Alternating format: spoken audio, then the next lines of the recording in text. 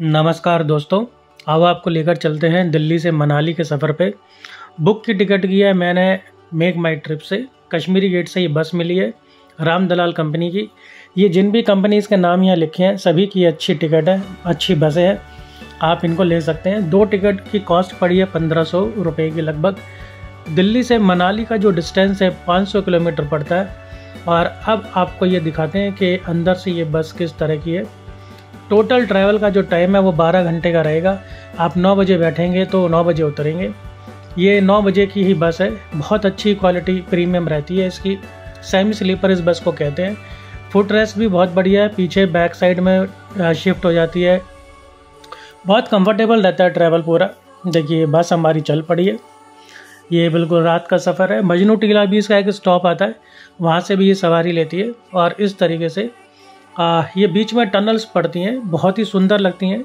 देखिए बिल्कुल नेचुरल बीच में से पहाड़ को काट कर ये टनल बनाई गई है। कुल मिला के ऐसी सात आठ टनल पड़ती हैं टोटल रास्ते में। कुछ इस तरह की हैं रॉ फॉर्म में और कुछ हैं जो बिल्कुल ही वेल फर्निश्ड है।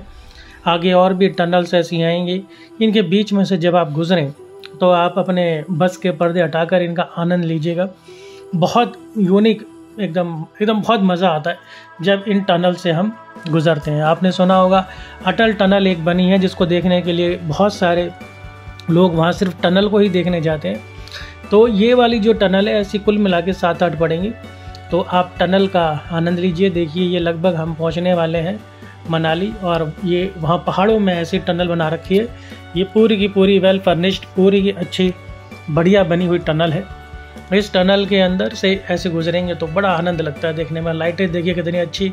बीच बीच में फ़ैन लगे हुए हैं एयर वेंटिलेशन के लिए। और यहाँ बीच बीच में पुलिस की फैसिलिटी भी रहती है। एंबुलेंस की फैसिलिटी भी रहती है। सारी फैसिलिटीज़ इसके बीच में रहती है। बहुत मज़ा आता है। और अभी आप देखिएगा, एक टनल ख़त्म होगी और उसके बाद दूसरी टनल स्टार्ट होगी। तो बीच में जो वो एक गैप आता है ना, वो भी बड़ा अमेजिंग लगता है देखने में। देखिए आ गया। ये एक टनल यहाँ पर देखिए ख़त्म हो रही है और दूसरी टनल देखिए स्टार्ट हो रही है। कितना मतलब जब रियल में यहाँ से गुजरते हैं ना तो बहुत ही अच्छा लगता है। ठंडी ठंडी हवा लग रही होती है आप कहोगे मनाली के करीब हम पहुँच चुके हैं। आ, तो वहाँ पर ठंडा मौसम तो हो ही जाता है। सुबह सुबह आँख बहुत जल्दी खुल जाती है। तो ये टनल है आप टनल का थोड़ा आनंद लीजिए।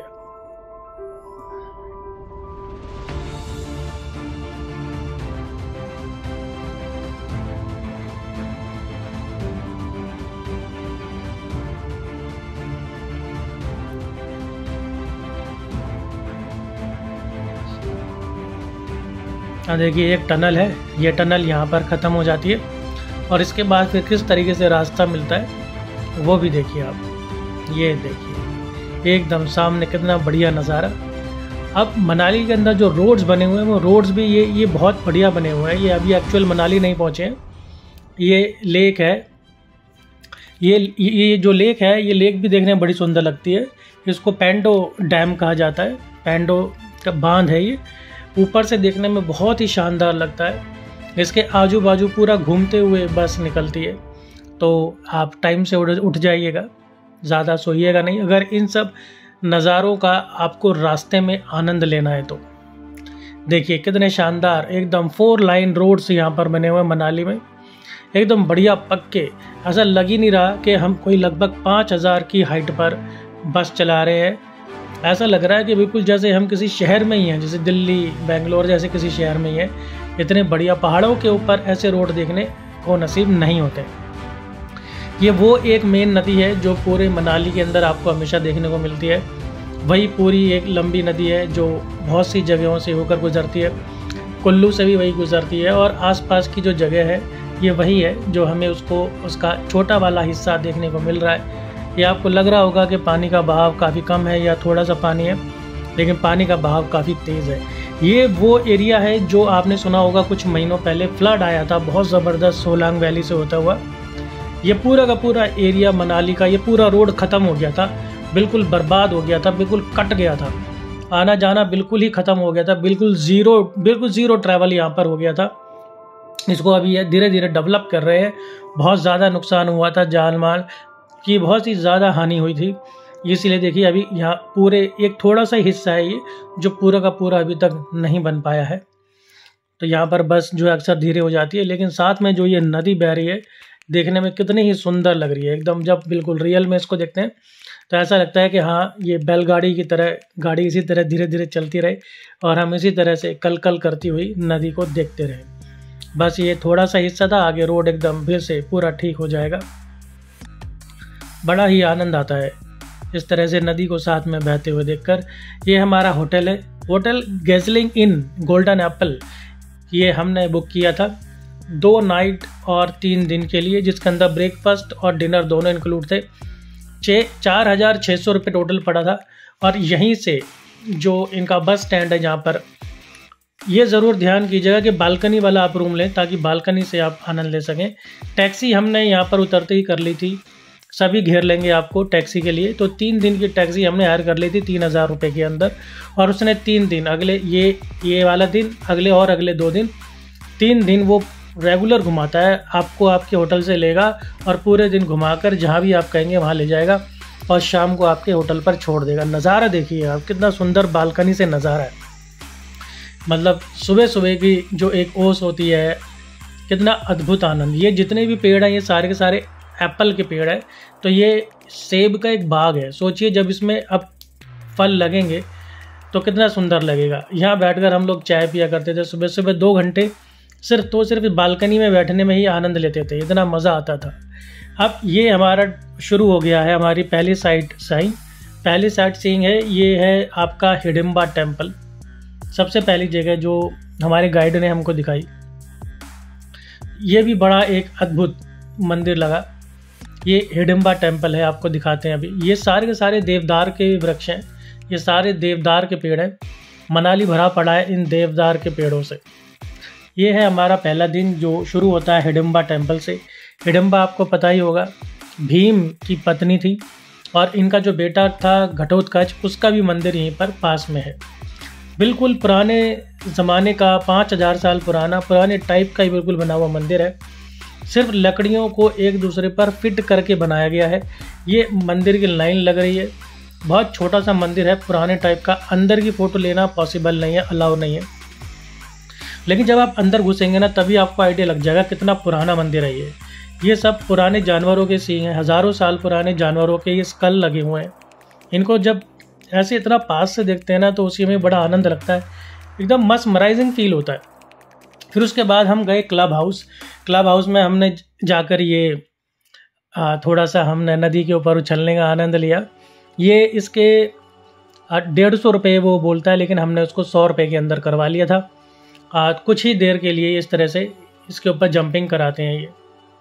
इसमें बड़ा मज़ा आता है। फिर उसके बाद हम चले गए मॉल रोड। और ये जो मॉल रोड है ना मॉल रोड के सामने ही वन विहार भी है। वन विहार में कुछ बच्चों के लिए झूले लगे हुए हैं और बोटिंग की है। तो बोटिंग हमने की थी, बोटिंग में भी आनंद आया। अच्छा खासा दस एक मिनट के लिए वहाँ पर आपको बोट मिल जाती है, मात्र पचास रुपये के अंदर एक पर्सन का। दूसरा दिन हम लोग गए अंजनी महादेव टेंपल जो कि मनाली से 25 किलोमीटर दूर पड़ता है। ये अभी इसके बारे में ना ज़्यादा लोगों को पता नहीं है। तो आप क्या करिएगा ना, आप पहले यहाँ जाइएगा दूसरे दिन। सोलांग वैली आप बाद में जाइएगा। सब लोग सोलांग वैली जाते हैं। यहाँ पर ये वो टेंपल है जहाँ पर अंजनी माता ने यानी हनुमान जी की माता ने आ, शंकर जी की पूजा प्रार्थना की थी। उनके लिए अर्चना की थी कि उनको एक पुत्र की प्राप्ति हो। तो इसलिए यहाँ पर ये मंदिर बना हुआ है। बड़ा सुंदर मंदिर है ये देखने में। और इसकी जो खासियत है वो खासियत मैं अभी आपको दिखाता हूँ। उसकी खासियत ये है कि यहाँ पर एक शिवलिंग है। और उस शिवलिंग के ऊपर एक झरना गिरता है। और वो झरना गिरते गिरते कभी कभी ना फिर वो बर्फ़ का भी शिवलिंग बना देता है। तो वो देखने में बड़ा अद्भुत लगता है। आप इस पर यूट्यूब की या दूसरी आप फ़ोटोज़ वगैरह देख सकते हैं। तो वैसे तो यहाँ पर पूरा पक्का शिवलिंग बना हुआ है, जैसे बनता है पत्थर का। लेकिन इस टाइम क्या है, सारा का सारा वो बर्फ़ से ढका हुआ है। अभी मैं आपको दिखाऊँगा, ये है वो शिवलिंग की जगह सामने। और ऊपर अगर आप देखेंगे तो आपको झरने के गिरने का निशान भी काला काला सा दिख रहा होगा। यहीं से झरना गिरता है और नीचे जो है शिवलिंग है और शिवलिंग के ऊपर पानी गिरता है और उसी से ही बर्फ़ की जो है शिवलिंग बन जाती है। तो ये भी बड़ी अच्छी जगह है, लेकिन फ़िलहाल तो सब बर्फ़ से ढका है। सब लोग अपना सिर्फ़ बर्फ़ का ही आनंद ले रहे हैं। फिर उसके बाद थोड़ा नाश्ता पानी करते हुए ये ज़िप लाइन हमने देखी, जिसका प्राइस पाँच सौ रुपये था। अगर आप ट्यूब जो ट्यूब होती है, टायर की ट्यूब, उस पर बैठकर स्लाइड करेंगे, उसके भी पाँच सौ रुपये हैं। तो जो आपके करने की इच्छा हो, वो आप कर सकते हैं। ये भाई साहब जी देखिए कैसे घुसी गए बर्फ़ के अंदर। यहाँ बर्फ़ काफ़ी सॉफ्ट है और गिरने का भी चांस रहता है। मैं भी एक दो बार गिरा। फिर उसके बाद हम लोग गए सोलांग वैली, जो कि अंजनी महादेव टेंपल से नीचे पड़ता है और ये मनाली से बारह बारह किलोमीटर दूर है। यहाँ पर सारी की सारी गेम्स हैं। अंजनी महादेव टेंपल पर भी उतनी गेम्स नहीं थी, जितनी गेम्स यहाँ पर हैं। ये जो आप देख रहे होंगे, ऊपर पैराग्लाइडिंग हो रही है। ये यहाँ का सबसे बढ़िया मेन अट्रैक्शन है। पैराग्लाइडिंग दो होती है, एक लो हाइट और एक हाई हाइट की, हज़ार रुपये और साढ़े तीन हज़ार रुपये। और बाकी सारी गेम्स लगभग पाँच सौ पाँच सौ रुपये की है। और अगर आप रोप वे से ऊपर जाएँगे, बहुत हाइट पर ले जाते हैं, बहुत हाइट पर। ट्रॉली से ले जाते हैं ऊपर, अभी आपको दिखाएँगे। तो उसका जो खर्चा है वो सात सौ रुपये का है। बाकी यहाँ पर ये, मैंने तो लो हाइट वाली पैराग्लाइडिंग ही की थी। ये रोप वे है, ऊपर देखिए ट्रॉली जा रही है। ये जो ट्रॉली ऊपर जा रही है, वहाँ तक जाने का खर्चा सात सौ रुपये है। और जो ऊपर वाली हाइट वाली जो पैराग्लाइडिंग है, जो कि ये वाली है, ये भी उसी रोप वे से ही ऊपर ले जाते हैं। और अगर आपको ये है फुल हाइट वाली पैराग्लाइडिंग साढ़े तीन हज़ार रुपये की। और अगर आपको मीडियम वाली पैराग्लाइडिंग करनी है, जो कि मैंने की थी तो इसके लिए आपको ऊपर पैदल चढ़ के जाना पड़ता है। और ऊपर जाकर वो इतना स्टीप हो जाता है कि थोड़ी सी हालत ख़राब होती है। ये जो फुल हाइट वाली पैराग्लाइडिंग है फुल हाइट वाली पैराग्लाइडिंग आपको ले लेगी आप पाँच सात मिनट नीचे उतरने में, लेकिन जो मिड वे वाली है, वो सिर्फ़ डेढ़ मिनट में नीचे ले आती है। हमारे होटल के बाहर ये एक पपी फैमिली थी, इनको हम रोज़ खाना खिलाते थे। तो जो भी हमारे पास बेस्ट पॉसिबल होता था, हम इनको देते। बहुत ही प्यारी फैमिली थी ये। एकदम शांत। तीसरा दिन हमारा शुरू होता है कुल्लू का, और कुल्लू के अंदर 40 किलोमीटर पड़ता है ये। ये पहला है वैष्णो देवी मंदिर। बहुत बढ़िया बनाया हुआ है। बिल्कुल वैष्णो देवी की तरह गुफा इसके अंदर बनाई हुई है, और उसी तरह से शंकर महादेव का भी इसके अंदर टेंपल है। वो काफ़ी मेन अट्रैक्शन है, लेकिन वहाँ पर वीडियो शूट करना पॉसिबल नहीं है।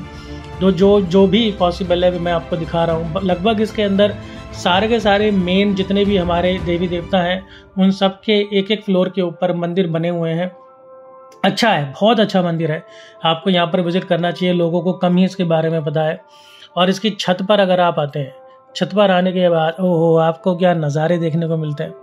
इतना बढ़िया इतना बढ़िया, ये वही नदी है जो मनाली से बहती हुई आ रही है। और इस टाइम ये कुल्लू में भी वही बह रही है। और इसी में ही रिवर राफ्टिंग भी होती है।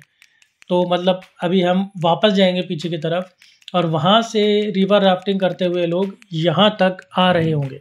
ऐसे वहाँ दूर से रिवर राफ्टिंग करते हुए लोग यहाँ तक आ रहे होंगे। टोटल फाइव किलोमीटर की रिवर राफ्टिंग होती है। यहाँ पर आकर भी ऐसा लगा कि अब तो बस ऐसा करो, थोड़ी देर यहाँ कुर्सी लेकर बैठ ही जाओ और मैं बैठ भी गया था। ये मंदिर अभी अंडर स्ट्रक्चर है, लेकिन काफ़ी अद्भुत है।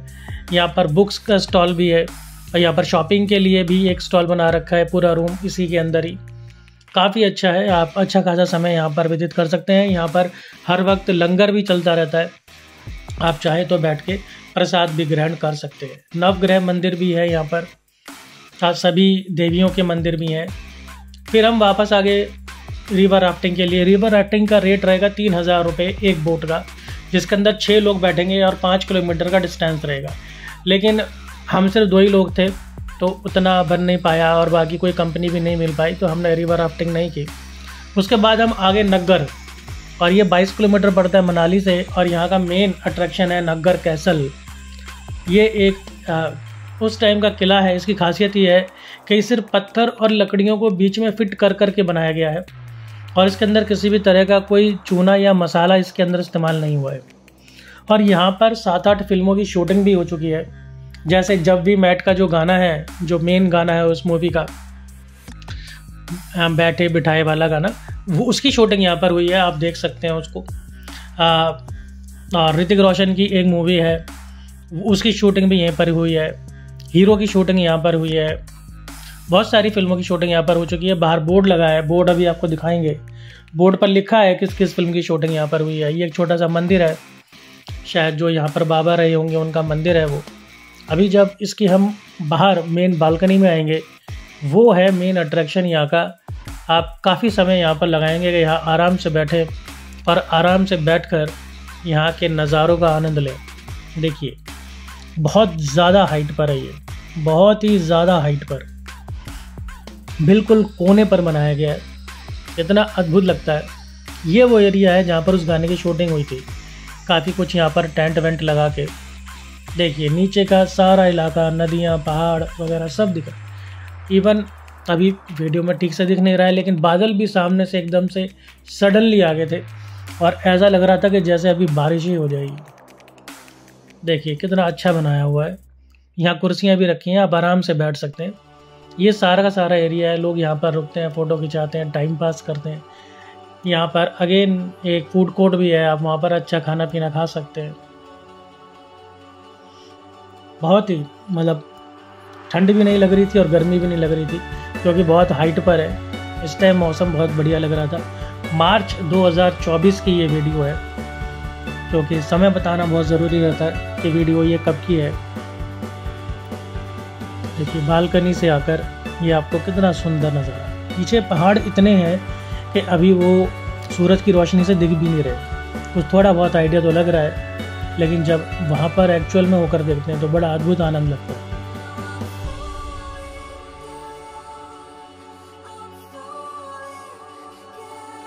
ऐसा लगता है जैसे किसी राजा का महल है, और महल है भी। ये एक छोटा सा म्यूज़ियम इन्होंने नीचे बना रखा है। आप जब कहीं जाएँ तो उसको ठीक से एक्सप्लोर करना चाहिए। ये सब बहुत पुराने बने हुए हैं। ये देखिए, पुराने पुराने शिल्पकार। कितने पुराने पुराने शिल्प हैं ये। अब तो बेचारे कुछ की तो हालत भी बहुत ख़राब हो गई है। ये सब हज़ारों साल पुराने हैं। और आप देख सकते हैं, कहीं चूना नहीं लगा पत्थरों के बीच में। पत्थरों को एक के ऊपर सेट किया हुआ है और लकड़ी फिट की हुई है और इसके अलावा कुछ भी नहीं। तो ये क्या टेक्निक है? आजकल के मकान तो दस साल नहीं टिकते, देखो। इतने पुराने पुराने, ये महल बिना किसी मसाले के टिके। और चारों तरफ़ जहाँ देखेंगे आपको नज़ारे नज़ारे दिखेंगे। एक से एक बढ़िया सुंदर। ये साथ में एक छोटा सा बहुत पुराने टाइप का मंदिर भी बना हुआ था। देखिए, इसको आप फ्रीज करके देख लीजिए। फ़िल्मों के नाम लिखे हैं, हीरो, रोज़ा, बरसात आदि। फिर ये जिंग बस हमने वापस अपनी वापसी के लिए बुक बस की थी। पंद्रह सौ रुपये में सवा चार बजे हम यहाँ से निकल गए थे। बस देखिए, जिंक की कितनी शानदार है। उम्मीद करता हूँ आपका ट्रिप भी बहुत बढ़िया हो। इसी तरह से जैसा हमारा रहा, खुशगवार। बहुत बढ़िया रहा Manali. Okay tata bye bye Manali.